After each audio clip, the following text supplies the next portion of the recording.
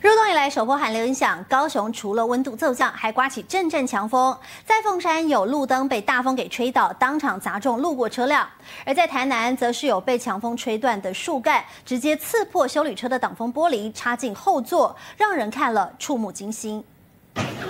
马路上车来车往，看似平静，不过突然刮起阵阵强风。路边灯杆左右摇摆，摇摇欲坠。果然，下一秒路灯被吹断，整座灯杆掉落路上，还砸毁下方经过的一部轿车。轿车车顶钣金凹陷，左后车门也被刮出好几道伤痕，而路灯底座整个断裂，里面电线外露。警方获报也赶到现场指挥交通，公开大直接倒下，砸到车子的侧面。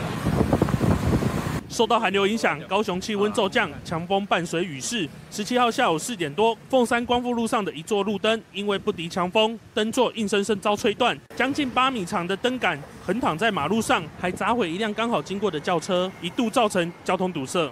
灯杆倒下后呢，压到了这一部自小客车，造成自小客车的车顶及左后车门遭到毁损。驾驶因为受到惊吓，急踩刹车，额头去撞到方向盘。但因为伤势较轻，选择自行就医。强风也吹袭台南，只见轿车后车窗玻璃破裂，树干插进后座，驾驶下车查看，当场傻眼。不过所幸两起意外都无人伤亡，算是不幸中的大幸。记者综合报道。